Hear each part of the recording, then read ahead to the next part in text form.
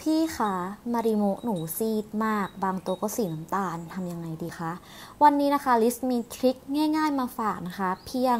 ทำง่ายๆ อุปกรณ์นิดเดียวนะคะ มีแค่ชิ้นเดียวจริงๆเลย ก็สามารถทำให้มาริโมกลับมาสีเขียวแบบนี้ได้นะคะ ไปดูกันเลย หลังจากหายกันไปนานมากนะคะ วันนี้ลิสก็ได้เลิกมาอัดคลิปให้เพื่อนๆ ได้ชมกันแล้วนะคะ ก็วันนี้นะคะก็จะมาแชร์เทคนิคนะคะ การขัดมาริโมนะคะสำหรับมาริโมที่ป่วยไม่ว่าจะเป็นสีซีด หรือว่าสีน้ำตาลนะคะ ต้องบอกไว้ก่อนในคลิปนี้ลิสใช้แค่แปรงสีฟันอันเดียวนะคะ จะเป็นแปรงอะไรก็ได้เลยนะคะ ทุกคนสังเกตไหมว่ามาริโมเนี่ยที่มันสีแปลกๆอะ่ะพอเราใช้แปรงนะคะ ค่อยๆขัดถูๆนะคะ มันจะขนเนี่ยมันจะหลุดออกมานะคะ แล้วขนที่หลุดออกมาทุกคนคือสีมันแบบ สีมันดูแย่มากนะคะ มันจะเป็นสีออกน้ำตาลนะคะ บางตัวก็ซีดนะรีดบอกไว้ก่อนเลยว่า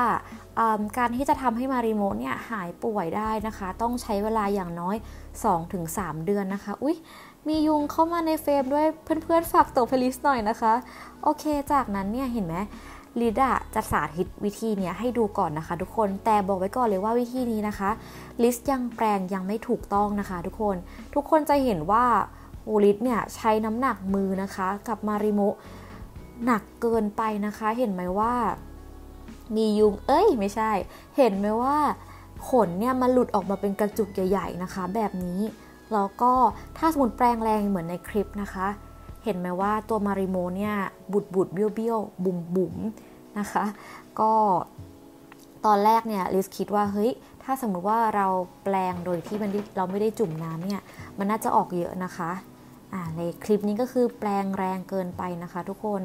สำหรับวิธีนี้เนี่ยลิสจะแปลง2สัป2ถึง3สัปดาห์ครั้งนะคะ เพราะว่าต้องเว้นระยะให้ขนน้องมาริโมเนี่ยมันงอกกลับมาก่อนนะคะ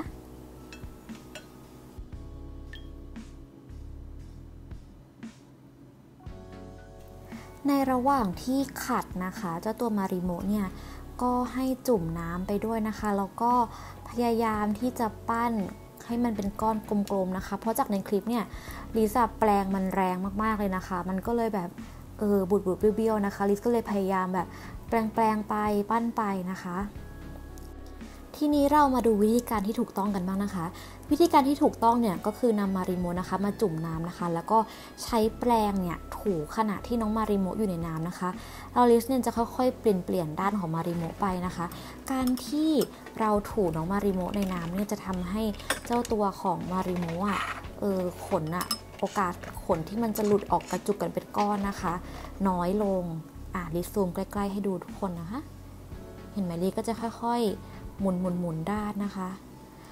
จับแปลงอย่างเบามือที่สุดนะคะ ลิสมีทริคการจับ โอ้โห โอ้ my god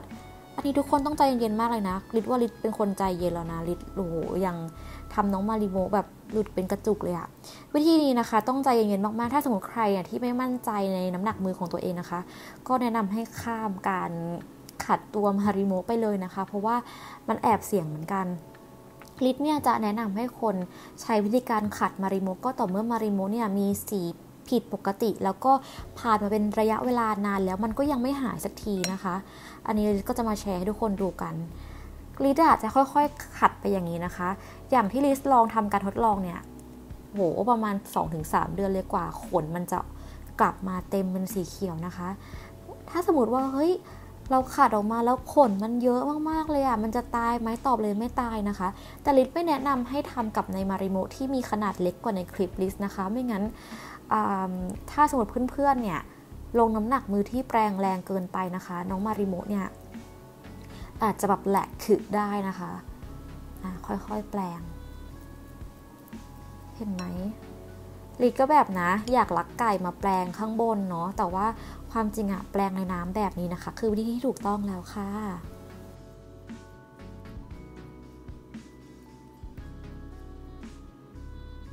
หลังจากที่เราขัดมาริโมเนี่ยขนาดตัวของมาริโมเนี่ยจะเล็กลงนะคะ ต้องบอกไว้ตรงนี้ก่อนเนาะแล้วก็ถามว่าขนใหม่ที่มันจะขึ้นเนี่ยใช้ระยะเวลานานไหม ก็พอสมควรค่ะทุกคน จะบอกว่าหลังจากที่เราเนี่ยขัดตัวมาริโมนะคะ เราก็ควรดูแลมันอย่างถูกวิธีนะคะ ก็คือการเลี่ยงแสงแดดนะคะ อย่าเอามันไปตากแดด แล้วก็พยายามควบคุมอุณหภูมิของมัน ไม่ให้เกิน 30 องศานะคะ ไม่งั้นมันยังไงเราขัดให้ตายเป็นปีๆยังไงเนี่ยขนใหม่ขึ้นมา มันก็น้ำตาลอยู่ดีค่ะทุกคน เห็นไหมว่าขนที่ขัดออกมาเนี่ยโอ้โห แบบสีแย่มากๆเลยนะคะ ถ้าสมมติว่าแบบเรามีหลาย ๆ ตัวแบบลิตเนี่ยลิตมีหลายตัวมากๆเลยอะลิตก็พอน้ำมันเริ่มขุ่นลิตก็ไปเปลี่ยนน้ำใหม่นะคะ แล้วก็เอามาขัดต่อแบบนี้นะคะ โอ้แบบยิ่งตัวที่แบบว่าสีน้ำตาลเยอะนะขนมันจะแบบมีความมีลักษณะที่มันจะนุ่มๆหยืยๆนะคะ แล้วมันจะแบบโหน้ำแบบดูขุ่นสกปรกมากเลย เนี่ยอะหลังจากที่แบบ ทั้งคลิปนะคะลิสก็ได้เทคนิคในการขัดนะคะ ขัดใต้น้ำนะคะ ทุกคนอย่าขัดบนบกนะคะ ไม่งั้นขนหลุดออกมาเยอะมาก